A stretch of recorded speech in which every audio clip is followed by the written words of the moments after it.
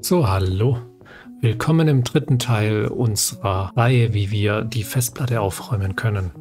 Im ersten Teil habe ich euch gezeigt, wie die Windows-Datenträgerbereinigung funktioniert. Im zweiten Teil habe ich euch das Programm Leechbit vorgestellt, mit dem ihr zahlreiche unerwünschte und unbenötigte Dateien löschen könnt. Und hier in diesem Video zeige ich euch jetzt, wie ihr mit dem Programm TreeSize noch zusätzlich einen Einblick in eure Festplattenbelegung erhalten könnt. Okay, legen wir los. Gut, wie bereits gesagt, das Programm nennt sich TreeSize Free. Einen Link dazu findet ihr in der Videobeschreibung. Ladet es runter, installiert es und dann könnt ihr es ganz normal ausführen. TreeSize Free und das wird dann bei euch in etwa so aussehen. Die Funktionsweise ist folgendermaßen. Mit dem Programm könnt ihr einzelne Verzeichnisse als auch komplette Festplatten scannen. Das funktioniert, indem ihr hier links oben auf Verzeichnis auswählen klickt und dort könnt ihr dann eine Festplatte auswählen, die halt gescannt werden soll. Es ist hilfreich, wenn ihr diese zweiteilige Ansicht wie bei mir habt. Diese zweiteilige Ansicht kriegt ihr hin, indem ihr erstmal hier auf Ansicht klickt und diese zwei Felder aktiviert habt. Dann können wir jetzt einfach mal loslegen und eine Festplatte scannen. Okay, hier auf der linken Seite seht ihr jetzt eine Auflistung aller Ordner sowie wie viel ähm, diese Ordner belegen, als auch deren Prozentsatz von der gesamten Belegung. Das heißt, auf meiner Festplatte hier sind etwa 35 GB belegt und der Ordner Altes Projekt belegt davon etwa 60% Hier auf der rechten Seite seht ihr eine grafische Darstellung dieser Ordner und der Dateien darin.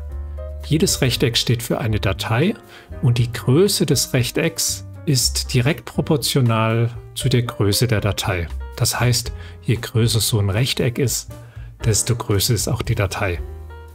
Und ihr seht, dass dieses Video einen großen Anteil des belegten Speicherplatzes ausmacht.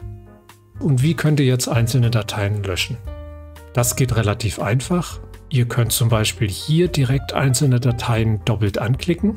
Wenn ihr das tut, dann springt ihr hier auf der linken Seite automatisch zu der Datei. Und die Dateien können dann ganz normal wie im Explorer gelöscht werden. Also ihr könnt zum Beispiel Rechtsklick machen und dann auf Löschen klicken. Und jetzt ist die Datei im Papierkorb drin. Ihr seht, dass jetzt sich auch die Anzeige hier live geändert hat. Jetzt sind nur noch 15 GB belegt und jetzt werden von Steam und The Pathless jeweils knapp die Hälfte belegt.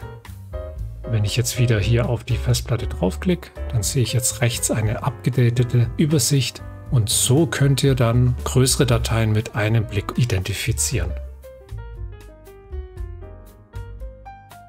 Jetzt zeige ich euch, wie ihr etwas die Übersichtlichkeit einstellen könnt. Dazu klickt ihr hier auf Diagrammoptionen und könnt dann hier einzelne Häkchen setzen oder entfernen, sowie den Detailgrad einstellen. Das sieht so aus, wenn ihr jetzt hier den Detailgrad verringert, dann seht ihr hier unten auf der rechten Seite, wie immer mehr einzelne Dateien direkt angezeigt werden. Wenn ihr den Dateigrad verringert, also nach rechts zieht, dann seht ihr, dass immer mehr Dateien gruppiert werden. So eine mittlere Stellung ist relativ praktisch. Ihr könnt die Anzeige von einzelnen Dateien ausschalten, dann werden nur die Ordner angezeigt. Die Legende könnt ihr aus- und anschalten Legende bedeutet, dass halt hier unten angezeigt wird, welche Farbe für welchen Dateityp steht. Hierarchie könnt ihr anzeigen lassen. Dann wird es aber relativ unübersichtlich. Deswegen ich wähle das normalerweise ab. Und das Ganze in 3D anzuzeigen, sieht zwar ein bisschen schicker aus, aber es verlangsamt den ganzen Vorgang schon ziemlich. Okay, es kann vorkommen, wenn die Festplatte gescannt wird, dass das Programm in einer Meldung nach Administratorrechten fragt. Wenn ihr diese Meldung akzeptiert, dann könnt ihr über das Programm die Dateien direkt löschen. Außerdem kann TreeSize so auch versteckte Ordner scannen. Beim Aufräumen der Festplatte müsst ihr jedoch beachten, dass ihr jetzt nicht einfach blindlings alle möglichen Dateien löscht.